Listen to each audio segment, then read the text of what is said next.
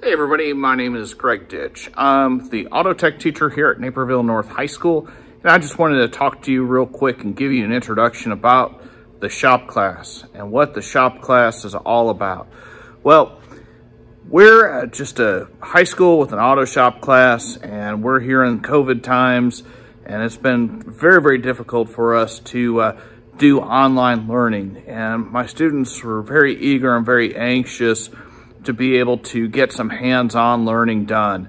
And we are doing that in an after-school program. So part of the concept is, one, we want to get our auto shop kids in here, as many of them as we can, after school, uh, as safely as possible with social distancing and meeting all the state and local requirements for that. Uh, the other part is giving the kids a safe outlet and a fun place to go. Many of the after-school sports and activities have been canceled or postponed. However, we're still able to get some stuff done here after school. So basically, the kids are going online um, until 3 o'clock in the afternoon, and then four days a week here, we go from 3.30 to 5.30 or 6 o'clock in the shop class where they get to do hands-on.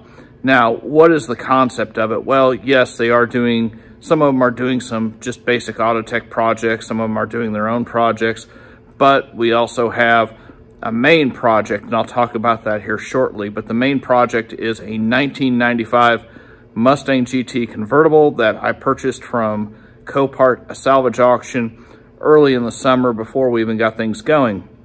I bought the car strictly just for the engine and transmission. It was one of the last 5-liter V8s ever produced by Ford, the old pushrod style with a 5-speed transmission, but once I got the car, we started getting into it and I realized that this might make a good project car. So we are uh, partnered up with carparts.com as well as a few others to get this car ready for the world of wheels. The students are going to be the ones doing all the work. I'm just going to uh, be here to coach and guide and, and help them through it.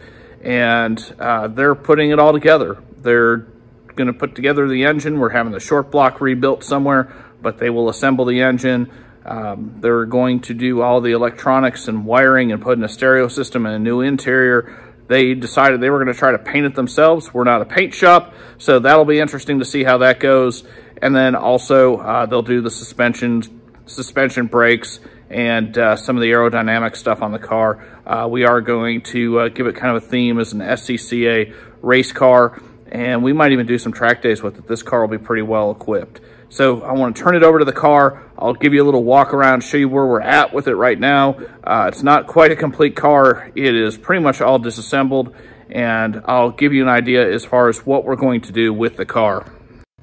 So this is the car as it sits in the shop class. You're going to see us do a lot of work to the car. I did not really film a lot of the disassembly.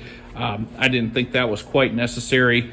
Um, we're going to film a lot of the reconstruction of the car, which I figure most people were interested in. It's pretty easy to figure out how to take the stuff apart. Putting it back together is the trick. What you'll see here is the radiator core support. You'll notice part of it's missing. That's where the primary damage was on the car. I'll include some pictures in the video so you can see some before and after.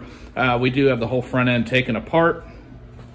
The car is mostly sanded down. We'll get uh, the rest of uh, the rest of it done here in the next couple of days. Well, you'll see it later on, but for me, it'll be a couple of days.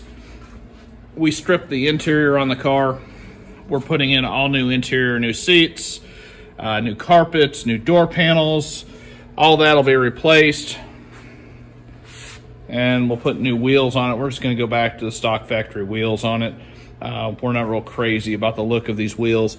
And as far as paint, uh, it was originally a green car, which you can tell from here. The main reason we stripped it down is it did have a second paint job on it.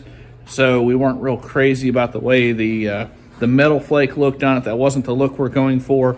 We're just going to do a satin black, uh, kind of a matte black hot rod look. So hopefully that comes out okay. None of us have ever painted a car before. So we'll see. We can only go up from there. Um, the idea behind this is not a how-to.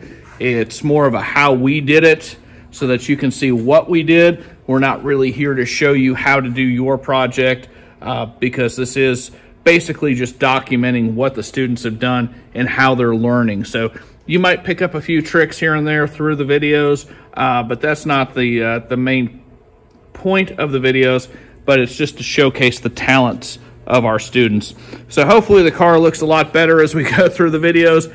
I don't think we can get much worse than this, but this is where we're starting. And uh, like I said, I'll include some pictures of it so that you can see what it looked like in the very beginning when we bought the car. Um, it wasn't a lot better than this, but boy, we've got our work cut out for us. So stay tuned, stick with us, subscribe, like, share. We want you to be part of our adventure and our journey and follow us regularly for updates. I'm hoping to get a couple of updates a week on our channel, and we hope to see you there and hope to see you at the end.